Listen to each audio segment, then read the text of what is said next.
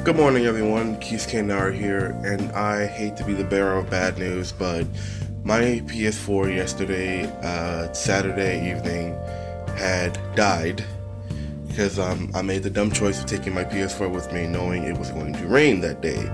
I just didn't know how bad it was going to be. So I will show you that my PS4 is not going to turn on at all. So watch this. Yep, I blew a fuse on it and it got wet a little bit, so it's not turning on. And I have to buy me a whole new one um, in the next two weeks.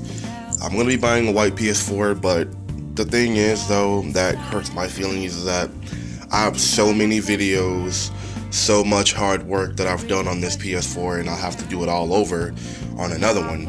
Although I have no one to blame but myself for these actions, and I hope you guys can wait in those two weeks because that's when I'll buy my new PS4. And unfortunately, this game is stuck in my PS4 now.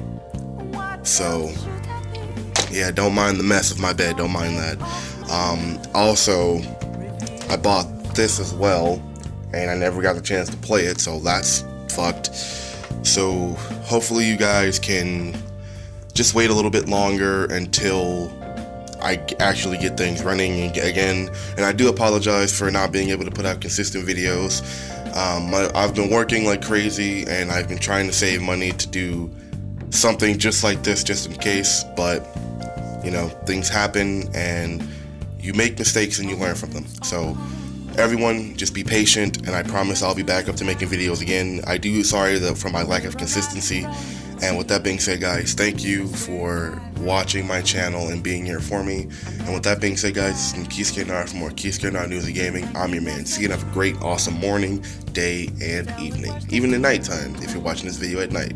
So, that being said, guys, see ya.